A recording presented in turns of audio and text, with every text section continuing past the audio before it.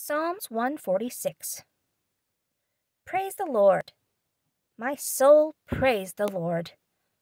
I will praise the Lord all my life. I will sing praises to him as long as I live. Don't depend on your leaders for help.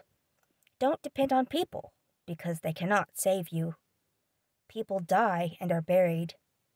Then all their plans to help are gone. It is a great blessing for people to have the God of Jacob to help them. They depend on the Lord their God. He made heaven and earth. He made the sea and everything in it. He can be trusted to do what he says. He does what is right for those who have been hurt. He gives food to the hungry. The Lord frees people locked up in prison. The Lord makes the blind see again.